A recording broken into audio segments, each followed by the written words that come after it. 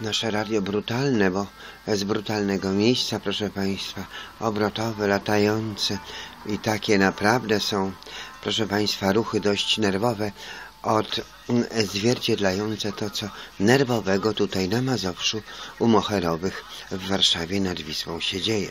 Jest Polska, a nie jest tu Ameryka i Angloameryka, Białystok tutaj nigdy nie będzie. Nie ma prawosławnych ludzi, nie ma cerkwi, nie ma Arabów, nie ma, proszę Państwa, takich, takich opcji.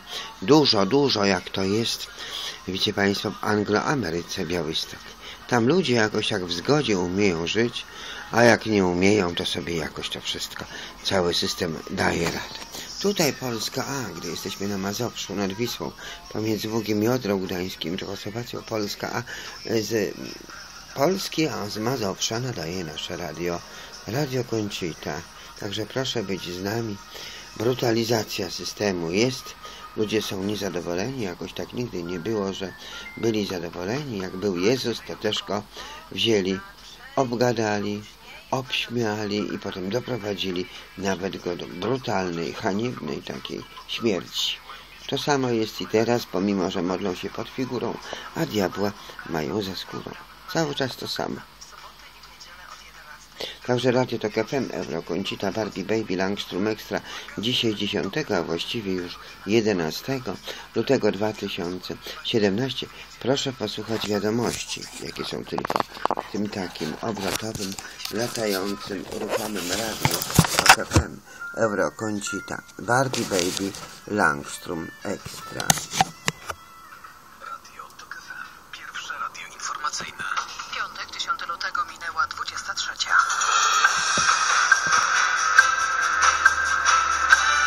Informacje TOK FM. Małgorzata Mostowiec. Limuzyna Beaty Szydło uderzyła w drzewo. Pani premier po wypadku w Oświęcimiu dalsze badania przejdzie w Wojskowym Instytucie Medycznym przy Szaserów w Warszawie. Ustawa podwyższająca kary za wyłudzenia podatku VAT czeka już tylko na podpis prezydenta. Zamachowiec sprzed Luwru usłyszał zarzuty, odpowie za usiłowanie zabójstwa. Beata Szydło kolejne badania w związku z wypadkiem rządowej kolumny w Oświęcimiu przejdzie w Warszawie w Wojskowym Instytucie Medycznym przy Szaserów. Do stolicy zabrał ją śmigłowiec lotniczego pogotowia ratunkowego. Po badaniach przeprowadzonych w Oświęcimiu tamtejsi lekarze stan szefowej rządu ocenili jako stabilny. Do kolizji z udziałem rządowej kolumny doszło w okolicy dworca PKP. Policja ustaliła, że kierowca samochodu premier Szydło, by uniknąć zderzenia z prywatnym autem, które gwałtownie skręciło w lewo, odbił na pobocze i tam trafił na drzewo. W wypadku tym najbardziej ucierpiał jeden z ochroniarzy szefowej rządu. Obrażenia odniósł też kierowca jej auta. Okoliczności tego zdarzenia wyjaśniają policja, prokuratura oraz Agencja Bezpieczeństwa Wewnętrznego. Słuchasz informacji TOK FM. Ustawa przewidująca karę nawet 25 lat więzienia za wyłudzenia podatku VAT trafi teraz do podpisu na biurko prezydenta. Parlament zakończył nad nią pracę, jednak zdaniem opozycji straszenie przedsiębiorców wysokimi karami niewiele zmieni. Wawrzyniec Zakrzewski.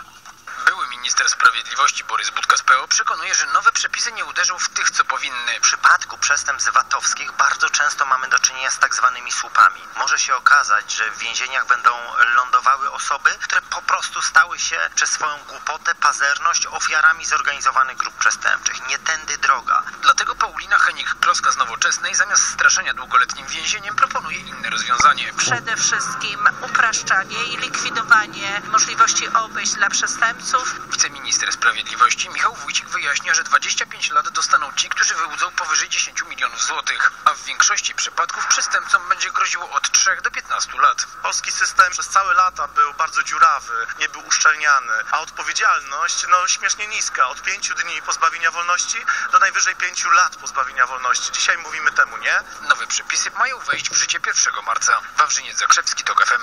Prezes PiSu wbrew wyborczym obietnicom swojej partii i prezydenta Andrzeja Dudy teraz radzi Frankowiczom, by wzięli sprawy w swoje ręce i walczyli w sądach, bo rząd nie może podejmować działań, które doprowadzą do zachwiania systemu bankowego. Karolina Baca-Pogorzelska z Dziennika Gazety Prawnej przyznaje, że te słowa Jarosława Kaczyńskiego nie są dla niej zaskoczeniem. Nie jestem chyba bardzo zaskoczona wypowiedzią pana prezesa Kaczyńskiego i, i, i w żaden sposób też mnie ona jakoś tutaj nie bulwersuje. Wydaje mi się, że powiedział po prostu oczywistą oczywistość. A z drugiej strony, no jednak wydaje mi się, że jeżeli ktoś zaciąga kredyt, bez względu na to, czy jest to kredyt we frankach, w złotówkach, e, czy w dolarach, czy w jeszcze innej walucie. Ja myślę, że po prostu powinien jednak czytać e, też e, umowy. Prezydent obiecywał frankowiczom przewalutowanie ich kredytów na złotówki. Na razie do Sejmu trafił tylko sygnowany przez niego projekt ustawy, który zakłada zwrot kredytobiorcom przez banki zbyt wysokich spreadów. Nad projektem tym pracuje teraz specjalna podkomisja. Zarząd województwa dolnośląskiego rozpoczął procedurę odwołania Cezarego Morawskiego z funkcji dyrektora Teatru Polskiego we Wrocławiu. Decyzja w tej sprawie nie była jednogłośna. Małgorzata Waszkiewicz. Marszałek województwa Cezary Przybylski poinformował, że procedura się rozpoczęła, a zarząd teraz na decyzję Ministerstwa Kultury. Wystąpię z pismem do pana ministra o opinię w sprawie odwołania. Decyzja nie była jednogłośna. Trzy osoby były za odwołaniem, jedna przeciwko. Tadeusz Samborski chce, żeby Cezary Morawski został na stanowisku. Ja nie jestem liściem na wietrze, nie zmieniam w zależności od kierunku wiatru i od porywów e, stanowiska i zdania. Jestem przeciwny odwołaniu pana dyrektora Morawskiego, bo nie zachodzą, uważam, przesłanki ani prawne, ani społeczne, ani moralne. Ministerstwo Kultury powinno zaopiniować wniosek w ciągu dwóch tygodni. Wrocław, Małgorzata Waszkiewicz, TOK FM. Zamachowiec sprzed Luwru usłyszał zarzuty. Odpowie za usiłowanie zabójstwa w ramach działalności terrorystycznej. 29-letni Egipcjanin 26 stycznia zaatakował w centrum Paryża pilnujących bezpieczeństwa żołnierzy. Ruszył w ich kierunku. Kierunku czteroosobowego patrolu uzbrojony w dwie maczety krzycząc Allah Akbar i został postrzelony. Z raną brzucha trafił do szpitala, gdzie nadal przebywa. Podczas przesłuchania oświadczył, że jego celem nie byli żołnierze, tylko że planował w symbolicznym proteście przeciwko Francji zniszczyć przy użyciu farby zgromadzone w Luwrze dzieła.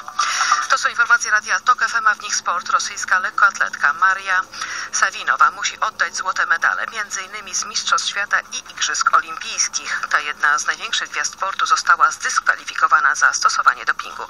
Krzysztof Sendecki.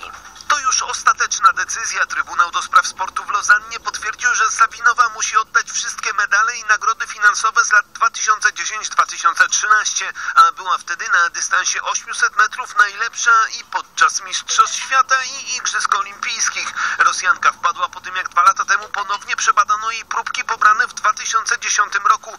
Testy wykazały obecność w jej organizmie niedozwolonych substancji. 31-letnia Rosjanka została także zawieszona na 4 lata, co praktycznie oznacza zakończenie kariery. Na anulowaniu wyników Sawinowej najbardziej skorzysta reprezentantka RPA Kaster Semenia, która w ten sposób zyska złote medale Mistrzostw Świata i Igrzysk Olimpijskich. Krzysztof Sandecki, TOK FM. W sobotę sporo chmur, ale i sporo rozpogodzeń. Miejscami słabe opady śniegu. Termometry pokażą od minus 6 do minus 2 stopni. Nieco cieplej, bo w okolicach zera będzie tylko na południowym zachodzie Polski. Radio TOK FM. Pierwsze radio informacyjne.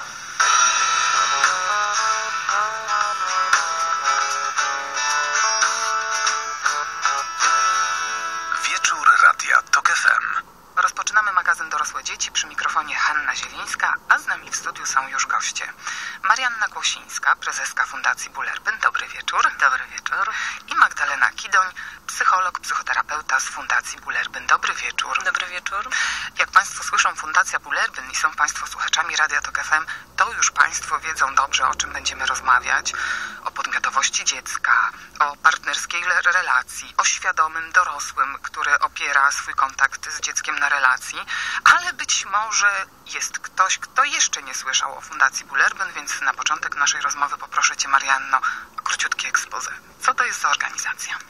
E, Fundacja Bullerbyn jest organizacją pozarządową, e, którą, kciuki. tak, tak, którą e, założyliśmy w 2007 roku na bazie takiej mojej rodzicielskiej potrzeby.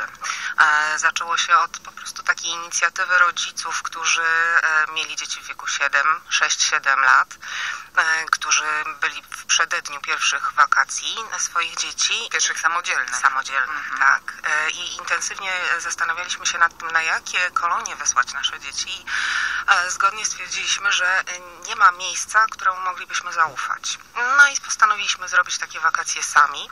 Akurat tak się złożyło, że przeprowadziłam się na wieś, więc w ogrodzie naszego domu na wsi rozstawiliśmy namioty i w ten sposób odbyła się pierwsza wioska Bullerbyn. To było takie cudowne, magiczne doświadczenie, bo e, połączyliśmy tam mm, e, wypoczynek naszych dzieciaków, które mieszkały pod namiotem, miały prawdziwą przygodę.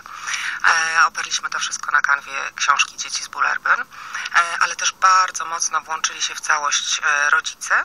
A też nałożyło się to na taką moją fascynacją mm, w moim e, rozwoju świadomego rodzicielstwa, fascynacją książ książkami Meslisz i Faber, jak mówić do dzieci, żeby nas słuchały, jak słuchać, żeby do nas mówiły.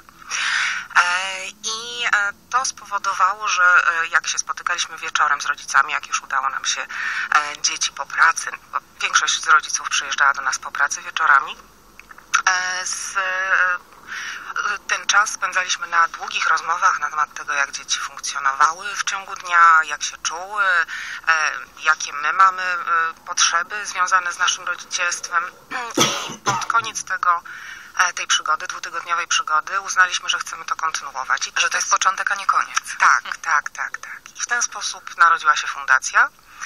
I potem już co roku organizowaliśmy wakacje. E, No i tak do tej, do tej pory e, po drodze poznałam Magdę, e, która włączyła się w, w organizację tego przedsięwzięcia, które w ogóle cały projekt Wioski Pulerpyn obejmuje szereg różnych aspektów. Dla wielu osób to nie jest czytelne, dlatego że mm, wielu rodzicom Wioska Pulerpyn po prostu kojarzy się z wakacjami. E, Natomiast te wakacje są połączone. Słusznie, bo to są mentalne wakacje. Tak, tak, tak, tak. Natomiast my zapraszamy cały czas do współpracy e, i rodziców, i wychowawców, e, ale też zapraszamy w takim zakresie właśnie rozmowy, spotkania, rozmowy na tematy, które nas nurtują właśnie w obszarze rodzicielstwa, w obszarze e, kontaktu z dzieckiem. E, Włączyliśmy od samego początku, w zasadzie od samego początku działania wioski Bullerbyn działa też przy wiosce Akademia Wychowawców Bullerbyn, o której bardzo chętnie byśmy Mhm. dzisiaj z Magdą opowiedziały. Tak, jeśli ktoś z Państwa zafascynuje się e, tym tematem i chciałby m, zaznać tego klimatu, to może się zgłosić na to szkolenie. Dzisiaj będziemy o tym e, jeszcze rozmawiać, ale powiedzmy też, że fundacja to nie tylko wakacje, to nie tylko zimowiska, bo one też mają miejsce od lat, ale też jesteś związana ze szkołą i to nie tak zupełnie luźno, tak całkiem poważnie. Tak, projekt rośnie razem z moimi dziećmi. E, Ja jako mm, mama e, dzieci, które szły do szkoły, mm, bardzo byłam w to zaangażowana Mm, i moja najstarsza córka, która w tej chwili już jest studentką, e, przeszła, przez wszystkie etapy edukacji w szkole ramowej. Mm, i- Ramowej, czyli powszechnej, publicznej. tak. E, Były to dla niej bardzo intensywne doświadczenia, e, mm, co a również dla mnie też, bo byłam też w to mocno zaangażowana, e, ale dla mnie jako mamy, wiedzącej to, co już wiem, świadomej mamy, tak, e, to, co działo się w szkole, mm, nie odpowiadało temu, czego ja bym od szkoły oczekiwała. Stąd wtedy, kiedy moje młodsze dzieci poszły do szkoły, szukałam dla nich szkoły bardzo ciepłej, przyjaznej, dobrego miejsca. Znalazłam taką szkołę e, na wsi, e, ale przede mną stanęła wizja gimnazjum.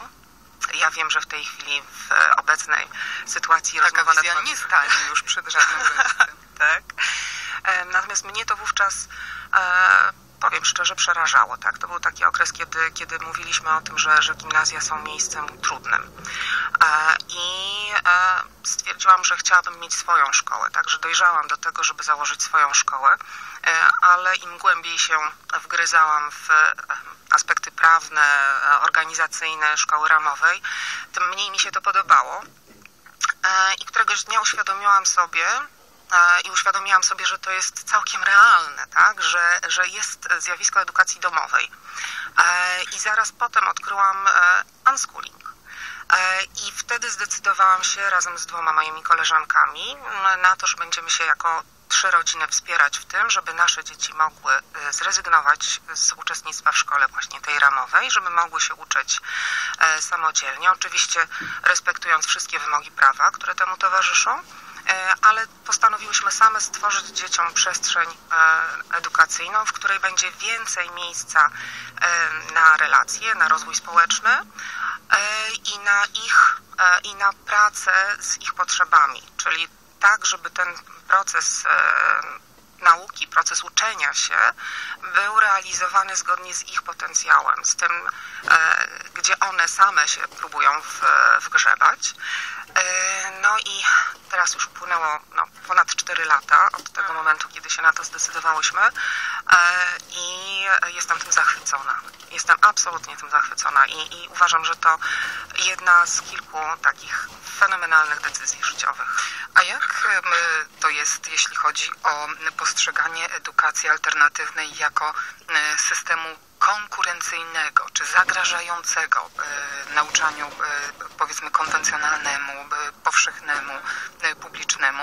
Równie dobrze można by uznać, że jest to propozycja uzupełniająca albo rodzaj awangardy, która bierze na siebie jakieś ryzyko błędów, ale jednocześnie sukcesy od razu można zaadaptować do nauczania powszechnego.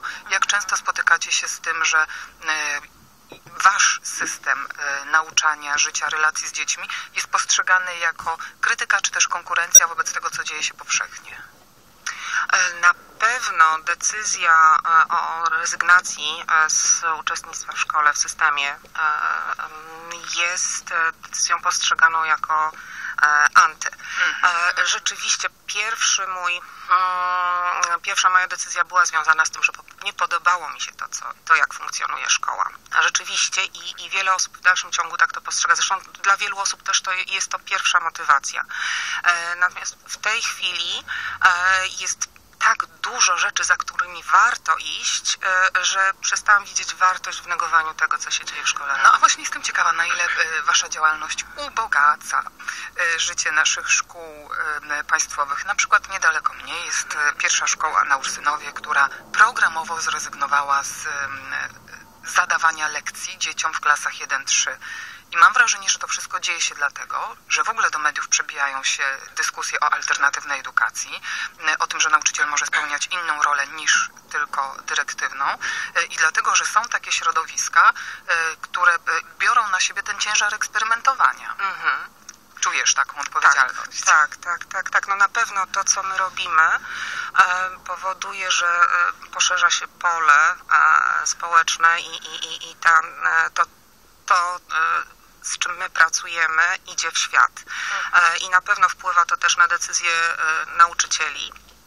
E, Ale jest też bardzo dużo innych inicjatyw obok naszych, bo, bo to, że ja zrobiłam to, co zrobiłam, nie jest związane z tym, że ja jestem tutaj wiem, jakimś hiperodkrywcą, tylko jestem po No jest prostu światło, przedstawicielem swojego pokolenia. Jestem bardzo reprezentatywna dla e, wielu rodziców e, z mojego pokolenia i, i reprezentatywna też w swoich potrzebach. A, ale również ten, ten sam obszar e, jest e, dostrzegany przez, e, przez nauczycieli, przez dyrektorów. Sama też brałam udział w takim projekcie, który jest projektem przeznaczony właśnie dla dyrektorów. Bardzo polecam na kolejne audycje Aplo, jeżeli jeszcze nie było u Ciebie.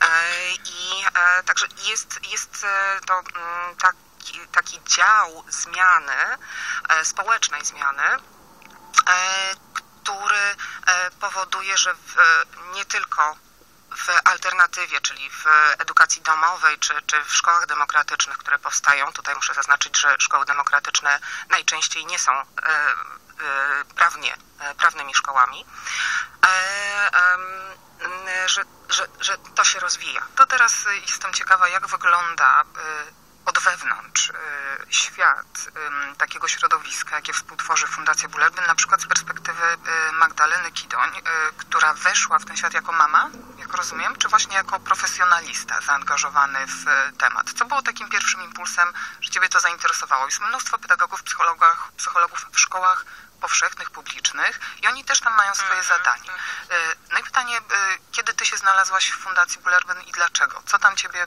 przyciągnęło, skusiło? Ja na początku swojej kariery pracowałam z dziećmi, też tak trafiłam do Fundacji Bullerbyn na początku. E, Byłam wychowawcą e, i Marianna wpadła na pomysł, że założy szkołę dla własnych dzieci i zaprosiła mnie do współpracy jako psychologa a ponieważ pracowałam w nurcie, który gdzieś odpowiadał też wartościom całej fundacji. Co to za nurt? E, humanistyczny, taki odpowiadają, odpowiadający na, mm, powiedziałabym, bardzo, bardzo ludzki, uwzględniający podmiotowość dziecka, szacunek do niego, nie tylko dziecka, ale też e, człowieka. I Mania mnie zaprosiła do bardzo dużego wyzwania, bo był to początek takich inicjatyw w Polsce. Rodzice mm, poszukiwali mm, miejsc, szkół, e, rozwoju dla własnych dzieci, też spójnych jakoś z ich, ich systemem wartości. I e, ja od początku pracowałam z nauczycielami w szkole, ale też wspieram rodziców w zmianie, ponieważ dla rodziców była to olbrzymia zmiana. Mm, Doświadczenie mm, takie posiadania dziecka w szkole wolnościowej, gdzie też jemu daje się dużo swobody, autonomii, e, jest dla, dla rodzica często taką inspiracją do własnego rozwoju, czego też rodzice na początku nie wiedzą. Myślą, że tylko dziecko wyślą do dobrego środowiska i też zapominają o tym, że ta mm, droga dla nich też e, rozpocznie, rozwojowa rozpocznie się. I jeszcze przez kilkanaście dni do końca grudnia można się zgłaszać do udziału w kolejnej em, edycji Akademii Wychowawców Bullerbyn. To dziewiąta edycja. Tak, tak, tak. I wiem, że e, Magda Kidon jest e, jedną z prowadzących zajęcia warsztaty. No, to mam do Ciebie pytanie. Na pewno e, osoby, które się e, w tej chwili e, wsłuchały w naszą rozmowę, zastanawiają się, no dobrze, ale rozwija się nasza wiedza o dziecku, o tym, czego ono potrzebuje w relacji z dorosłym. Mamy po prostu wydziały pedagogiki na różnych uczelniach, Em, a my tutaj proponujemy, zapraszamy jakąś formę zupełnie odrębną od tego, czego można się dowiedzieć na studiach. Tak, też mam okazję pracować na takim wydziale ze studentami, więc jakoś też mam poczucie, że czerpię z dwóch, z dwóch źródeł. E, Akademia Wychowawców Bullerbyn e, faktycznie No zepsuć na tych studiach to debilko. W wypadku z udziałem prezydenta Andrzeja Dudy, kiedy w jego limuzynie pękła opona, Bi- BOR, Biuro Ochrony Rządu, Na tych studiach, szczególnie na jeśli Uniwersytecie chodzi o Warszawskim, ochronę można najważniejszych zdolności osób w człowieka państwie. Tymczasem, tak jak pan e, wspomniał, mieliśmy całkiem niedawno e, wypadek e, z udziałem ministra obrony narodowej, teraz pani premier, to znaczy, że mm, BOR nie uczy się na swoich błędach, jeśli była to wina BOR-u. Wydaje się, że system ochrony najważniejszych osób w państwie nie jest dobry. Że e, i premier, i prezydent nie są dobrze chronieni. No, zginął pe- polski prezydent. Już w 2010 roku powinny nastąpić radykalne zmiany. Zmiana szkolenia, zmiana procedur, e, z- personalne, które powinny uniemożliwić e, taką sytuację na przyszłość. A tymczasem e, e, dochodzi do tego, że najważniejsze osoby w państwie są zagrożone w wypadkach komunikacyjnych, najbardziej prozaicznych. No to co tu można mówić o ataku terrorystycznym, o, o nagłym ataku szaleńca i tak dalej, i tak dalej. No, no, te procedury są fatalne. Jeżeli y, przyglądamy się amerykańskim procedurom ochrony, rosyjskim procedurom ochrony, czy izraelskim procedurom ochrony, to widzimy jednak dużą przepaść. Dlaczego w takim razie mm, nasze służby nie chcą e, wyciągnąć e, wniosków e, z tych tragedii, które miały miejsce, e, bądź nie chcą brać To nie ma przykładu z nic tych e, wspólnego z tymi procedurami. Proszę zobaczyć, jak oni tu kręcą. Porównują coś, co nie istnieje.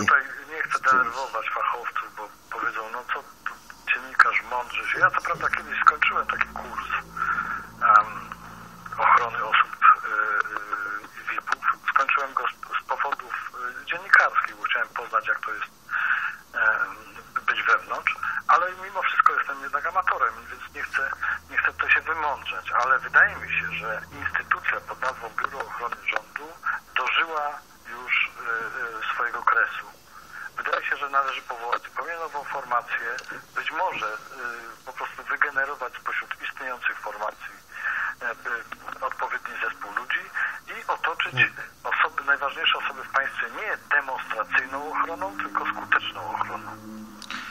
Dzisiaj minister e, Mariusz Błaszczak zwołał e, pilną naradę z kierownictwem BOR. No i jak e, pewnie możemy się domyślać, to wcale nie jest przyjemna rozmowa. No i nie powinna być to przyjemna rozmowa, dlatego że mm, ja wiem, że oni często niezasłużenie obrywają, ale niestety od tego są, żeby nie, nie było głośno o wypadkach z udziałem najważniejszych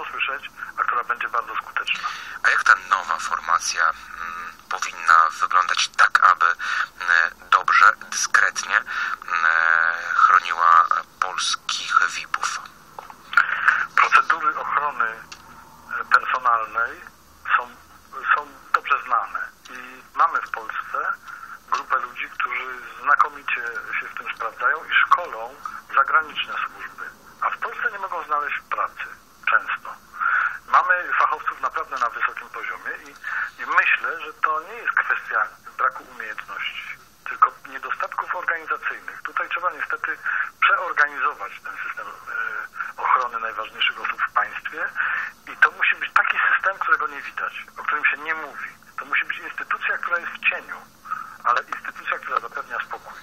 Witold. Sport taką instytucją już nie jest, niestety. Witold Gadowski, publicysta. E, bardzo dziękuję za ten komentarz, a my już teraz łączymy się z Wojciechem Wybranowskim z tygodnika mm, Do Rzeczy.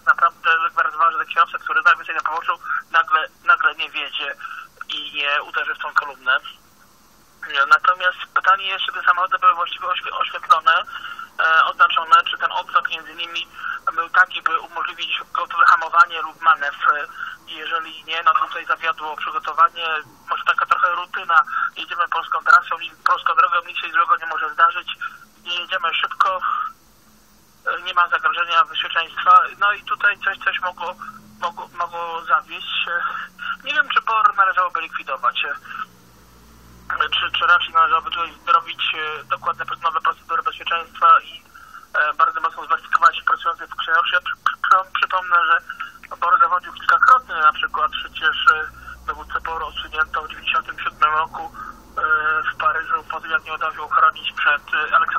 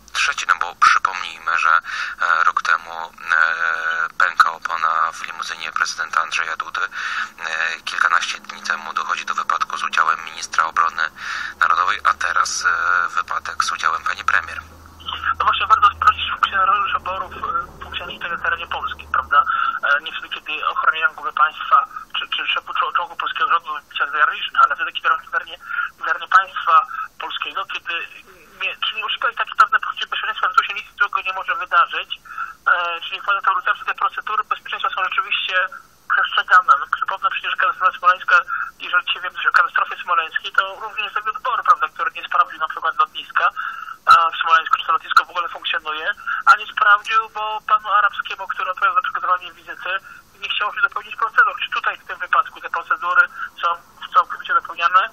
Myślę, że tutaj praca w tym wyboru powinna być absolutnie zweryfikowana, sprawdzona, jak działa ta kolumna, czy była zachowana odległość między samochodami, czy były one właściwie oznaczone, czy nie popełniono błędów, wpuszczając, dopuszczając do tego, że sabotaże Koczęto znalazło się między pojazdami rządowymi i dopiero wtedy po tym można wyciągać wnioski. To ja teraz e, może tylko powiem, że właśnie w tym momencie ląduje śmigłowiec lotniczego Gotowia Ratunkowego z premier Beatą Szydło na lotnisku przy Wojskowym Instytucie Medycznym w Warszawie przy ulicy e, Szaserowa. Z nami jest Wojciech Wybranowski z tygodnika do rzeczy. Panie redaktorze, jakie według Pana będą konsekwencje polityczne e, tego dzisiejszego wydarzenia? Tak jak wspomniałem, to wszystko zależy od tego, od pewnie e, jutro, w niedzielę okaże się, czy tutaj błąd popełnił BOR. E, jeżeli, jeżeli błąd, błąd popełnił BOR, to natychmiast powinny być zmienione procedury funkcjonowania, pole, powinny polecieć głowy osób odpowiedzialnych za przygotowanie tej wizyty i za ten cały konwój.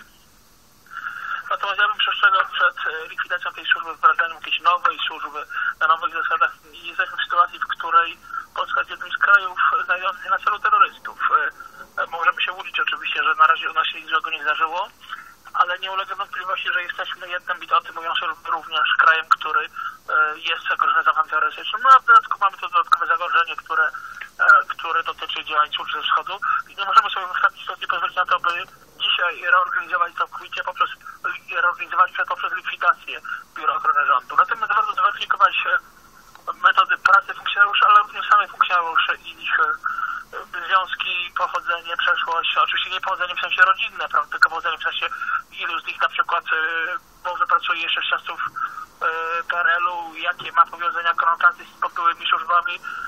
Zastanawiam się, czy ci ludzie powinni być dalej w służbach. Wojciech Wybranowski, tygodnik e, do rzeczy bardzo.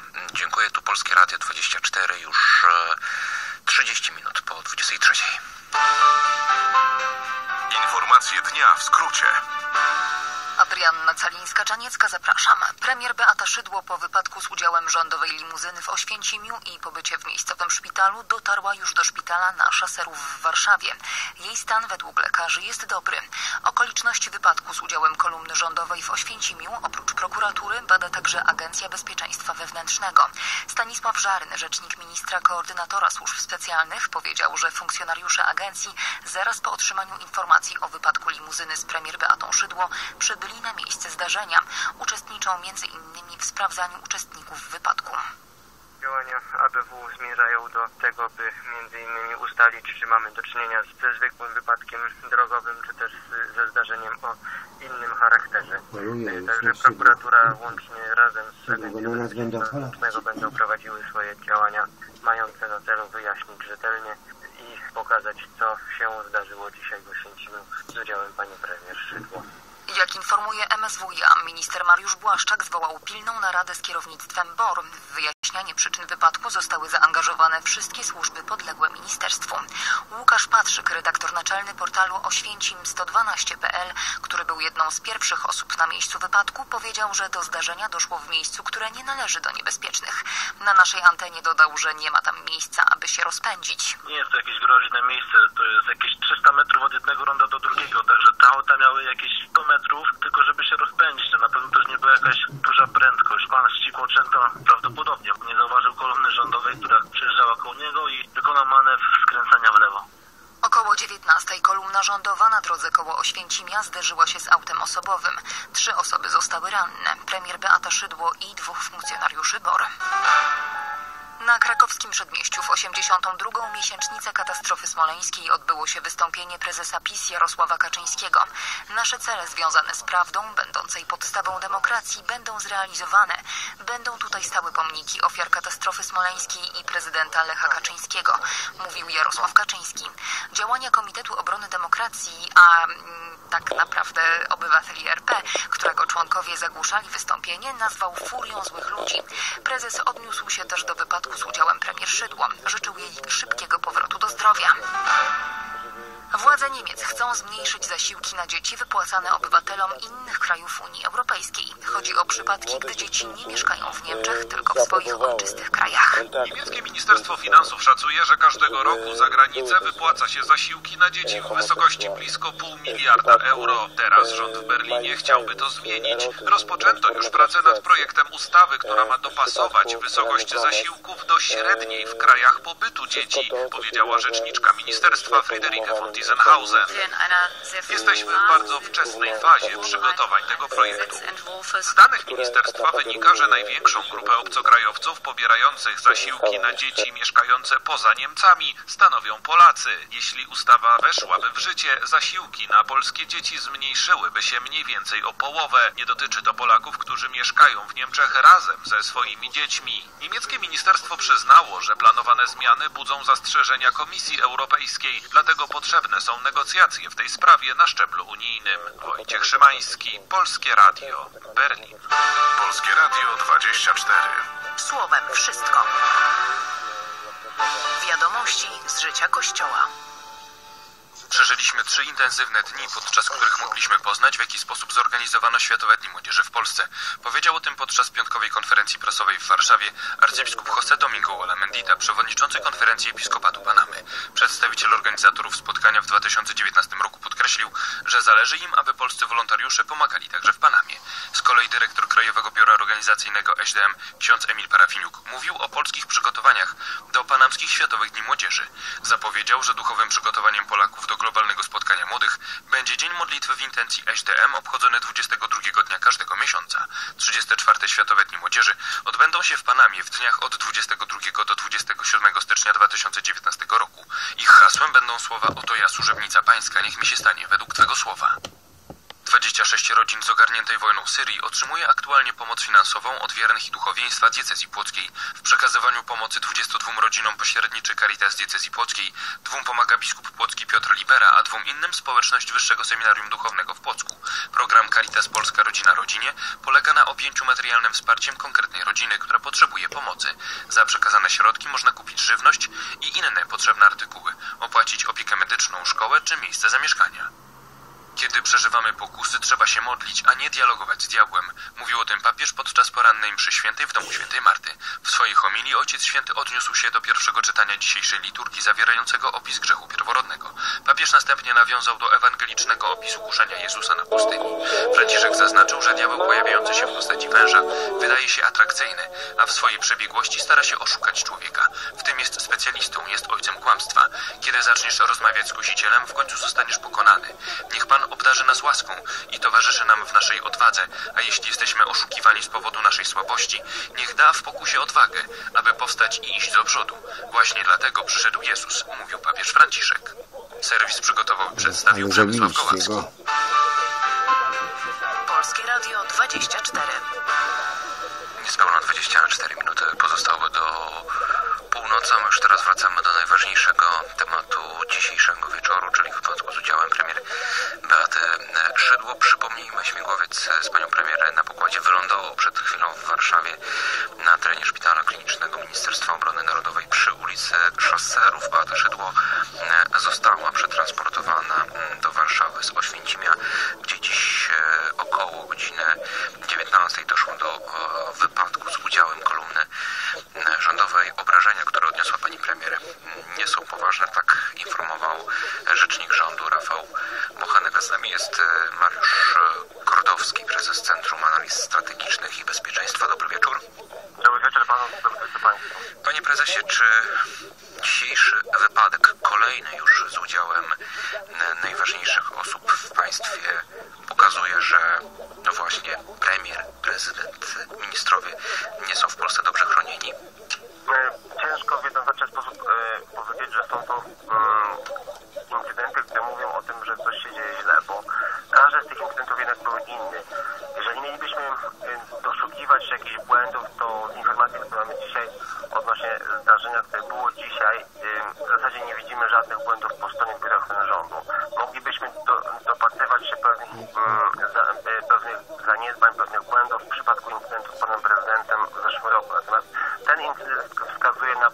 ten incydent wskazuje na po prostu tak zwany czysty pech, czyli na błąd kierowcy, który włączył włączył e, się w ruch, włączył się w kolumnę e, i raczej mm, widzę tutaj pozytywne działanie ochrony niż to, niż e, przesłanie mówiące o tym, że mielibyśmy do czynienia z błędami po stronie biura ochrony rządu. Ale czy jednak e, Biuro Ochrony Rządu nie powinno zabiegać takim mm, incydentom, że nawet jeśli wszystko było e, zgodnie z procedurami, no to jednak e, do takiego wypadku nie powinno dojść? E, Tutaj mamy taką sytuację, że trzeba e, podzielić jakby klasy ochrony, bo na- najważniejszymi osobami w państwie, które posiadają najwyższy stopień ochrony, to jest prezydent i premier. I oni, jeżeli się przemieszczają e, po kraju, to poruszają się w kolumnie co najmniej trzech pojazdów, więc są to osoby, które posiadają ten najwyższy stopień ochrony. Jeżeli mają na przykład wyjazdy e, wcześniej mm, przewidziane, to e, jest to obarczone odpowiednim sprawdzaniem terenu, trasy, objazdów. Często korzystają także z asysty policji. Oczywiście można zrobić wiele więcej rzeczy, tylko są to rzeczy o wiele bardziej kosztowne. Biuro Ochrony Rządu, które od lat e, chroni najważniejsze, na, najważniejsze osoby w państwie, zawsze mm, musi lawirować trochę między ograniczeniami budżetowymi, a tym, co chciałoby osiągnąć. A czy e, Biuro Ochrony Rządu nie mogłoby osiągnąć lepszych wyników, e, gdyby współpracowało lepiej z policją? No bo e, teoretycznie mogłoby się wydawać, że na m, trasie przejazdu e, kolumny rządowej, zwłaszcza jeśli mm, na samochodu jest premier Beata Szydło, no to wszystkie drogi, e, m, które mogłyby zagrozić e, ruchowi kolumny, będą kontrolowane i żaden samochód e, postronny się nie pojawi na e, trasie przejazdu kolumny rządowej.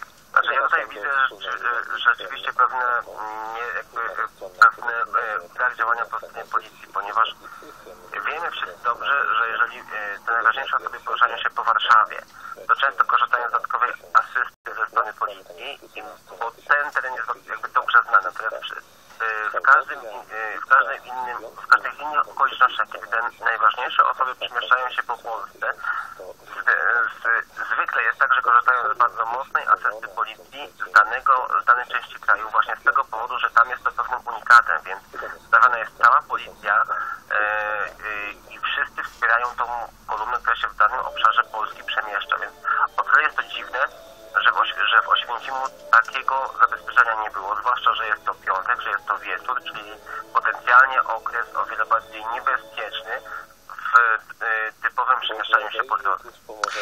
Panie prezesie, a jak e, według e, pana powinna wyglądać taka wzorowa e, m, e, procedura zabezpieczenia e, przejazdu kolumny m, rządowej i jak to powinno tak modelowo wyglądać, aby do sytuacji, których e, m, dzisiaj byliśmy świadkami, nie dochodziło?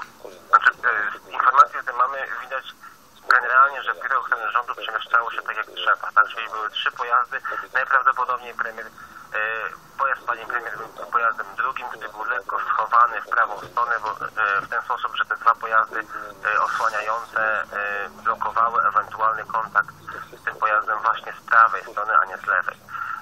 Na, na, natomiast jeżeli chcielibyśmy nadać tej kolumnie odpowiednią ochronę, to trzeba mieć drogi awaryjne, trzeba mieć także wsparcie policji w taki sposób, aby kolumna przemieszczająca się przez miasto mogła płynnie przejechać na zielonym, czerwonym świetle wszędzie przez cały odcinek, a najskuteczniej można to osiągnąć tylko wtedy, gdy policja zabezpieczy wszystkie skrzyżowania w ten sposób, że nie wpuści na trasę żadne inne pojazdy.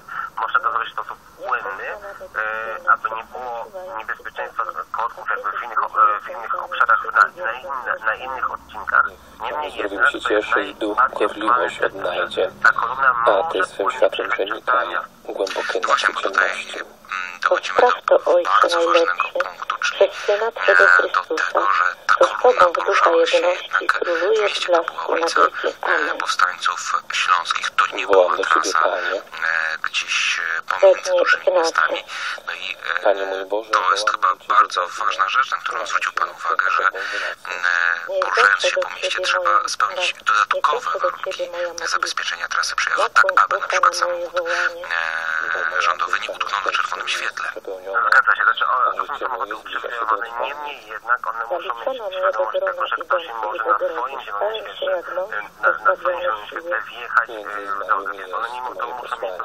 the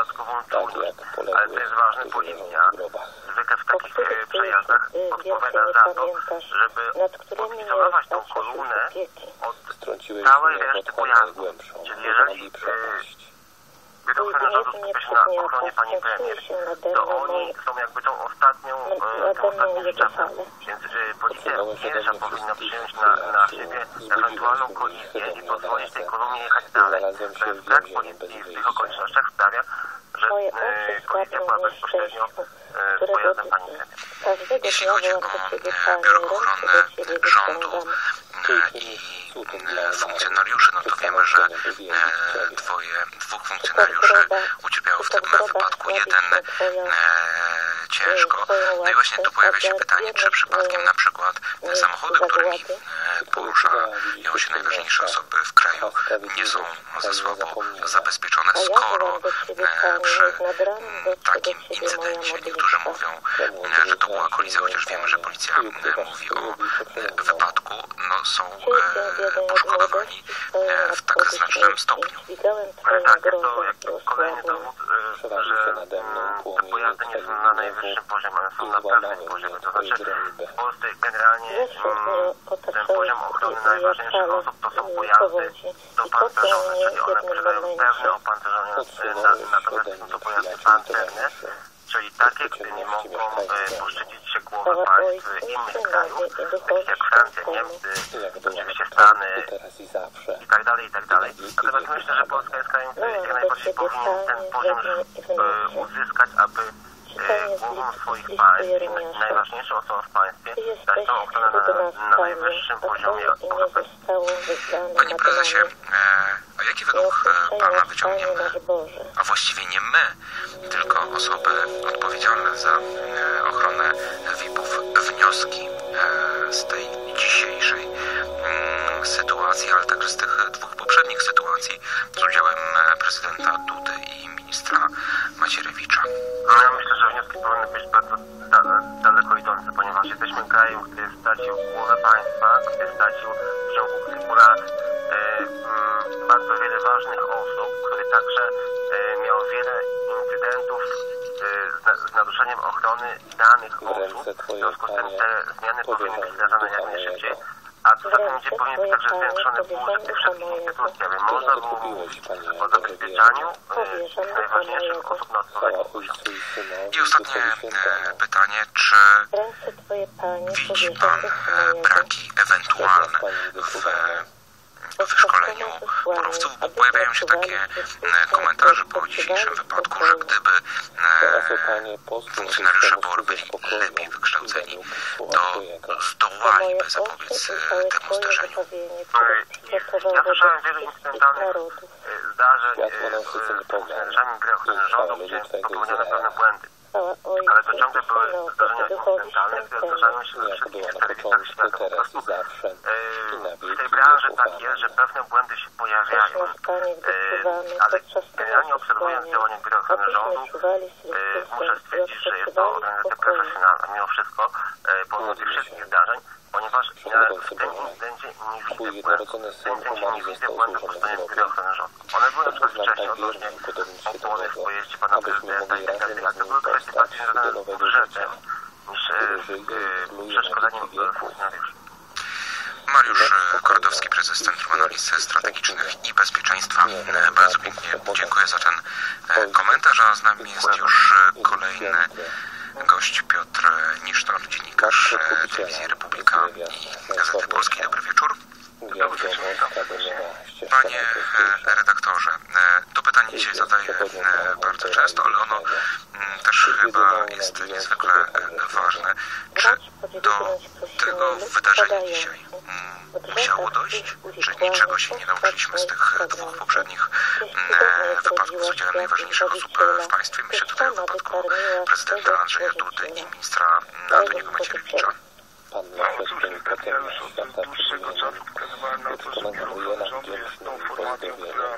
Praw się wstawiać, bo Pan za nami grzesznymi. Ze względu właśnie na te sytuacje, które miały miejsce, na te nieprawidłowości, patologie, które mają miejsce w tej No, szczyt NATO i Światowe Dni Młodzieży, które, które odbywały się bo ja się tak strasznie przemywam, bo nie spodziewałam się do świadka, dosyć długo nie mogę tego reformy, tejże instytucji. Tak mi serce waliło sytuacja, jak która młotkiem.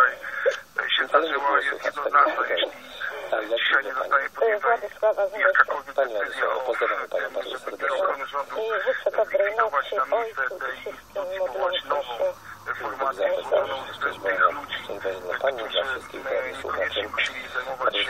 Aposentado. É.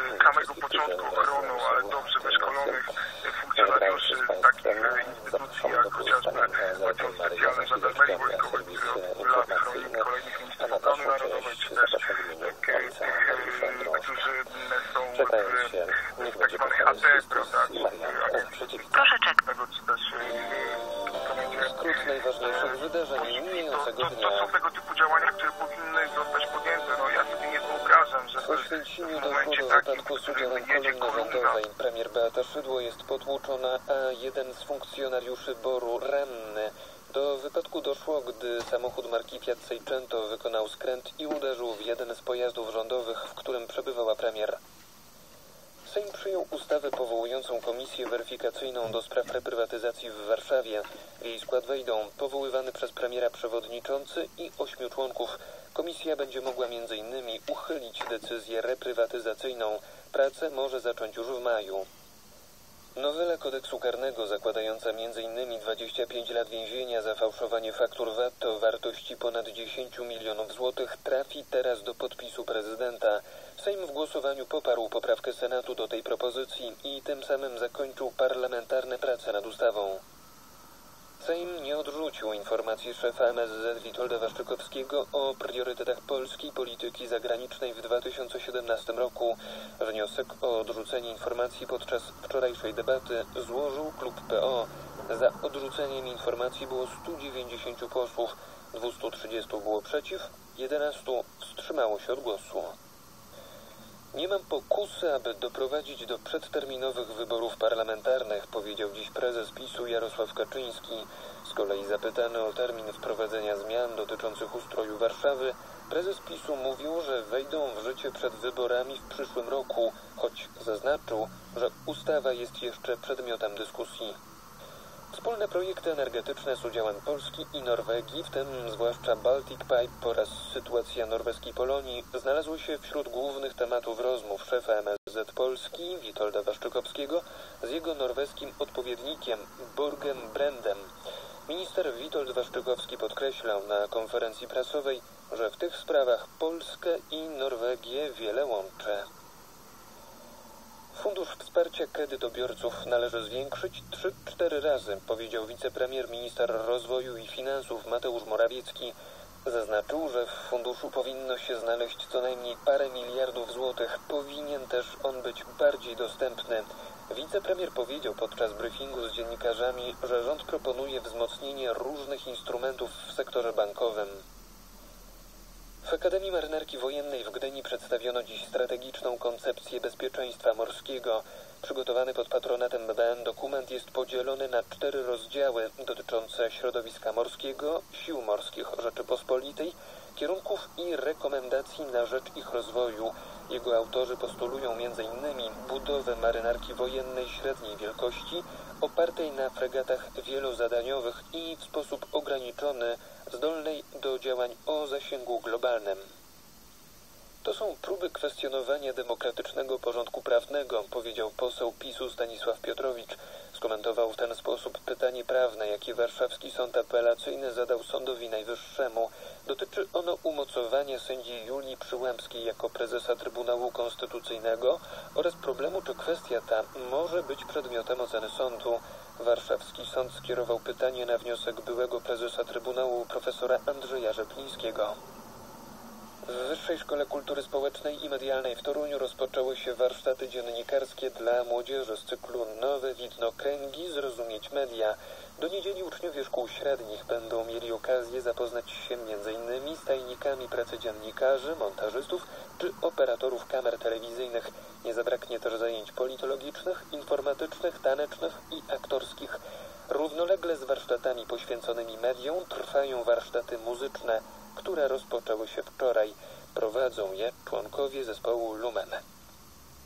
W Warszawie odbyły się obchody 82. miesięcznicy smoleńskiej. Przed południem w kościele w niebowzięcia Najświętszej Maryi Panny i świętego Józefa Oblubieńca sprawowana była msza święta w intencji ofiar katastrofy. Po południu mszę świętą sprawowano w Bazylice Archikatedralnej pod wezwaniem męczeństwa świętego Jana Chrzciciela. Tą Eucharystię transmitowały Radio Maryja i Telewizja Trwama. Mija 77. rocznica pierwszej masowej deportacji obywateli polskich w głąb Związku Sowieckiego. Według NKWD do północnych obwodów Rosji i na zachodnią Syberię deportowano około 140 tysięcy osób. Dla wielu z nich równało się to z wyrokiem śmierci.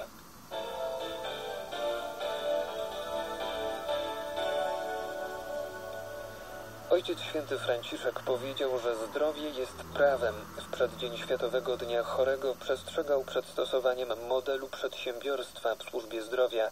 Podczas audiencji dla członków Komisji do Spraw Działalności Charytatywnej i Zdrowie Konferencji Episkopatu Włoch papież Franciszek podkreślał, że w centrum każdego systemu opieki zdrowia musi być osoba chora, a nie pieniądze. Amerykański gigant aborcyjny Planned Parenthood narzuca swoim ośrodkom miesięczne normy zabijania dzieci, informuje nasz dziennik. Za realizację lub przekroczenie założeń personelowi danego centrum przyznawane są premie. Natomiast pracownicy ośrodków, które nie wypracują normy, poddawani są reedukacji. Minister Spraw Zagranicznych Litwy Linas Linkevicius, który jest też posłem na litewski Sejm, zarejestrował w Izbie rezolucję, w której wzywa do upamiętnienia w tym roku na Litwie Tadeusza Kościuszki, poinformowały służby prasowe Sejmu. W bieżącym roku przypada dwusetna rocznica śmierci generała Tadeusza Kościuszki, bohatera walk o niepodległość Polski i Stanów Zjednoczonych. Unia Europejska przekaże Ukrainie 600 milionów euro wsparcia w najbliższych tygodniach, poinformował w Brukseli szef Komisji Europejskiej Jean-Claude Juncker po spotkaniu z premierem Ukrainy Wołodymyrem Hojsmanem. Powiązał to jednak ze zniesieniem zakazu eksportu drewna. Był to skrót najważniejszych wydarzeń mijającego dnia.